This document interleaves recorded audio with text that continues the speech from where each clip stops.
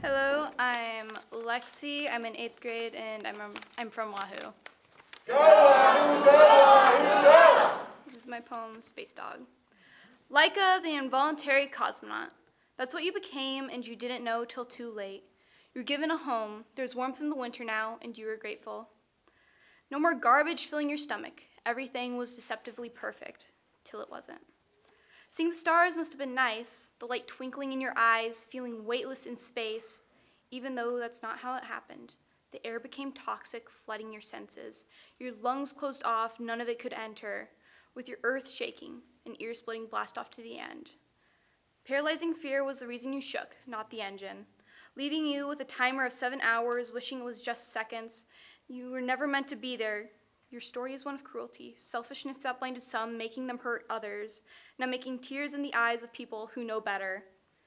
Your story should have never existed, not like that. It never should have been you coming home as ashes. You should have been happy. Living your hours in a warm home, not a flaming shuttle. You should have been able to live and bask in the sun, not be a space dog with no hopes of running in the grass again, not a, not a science experiment, but just a dog. You should have never been with the stars or known as one. Staying abandoned would have been better than left for dead, but you were found. And it's tragic to think about what ifs. If you had a family, they would miss you, but you didn't. You, had, you didn't have lost dog posters, and no little girl cried for a puppy to come home. You had strange people in white coats, poking and prodding, knowing you wouldn't come back. Do you know why they cried their goodbyes? Why they tried to make you feel loved in your last moments of gravity?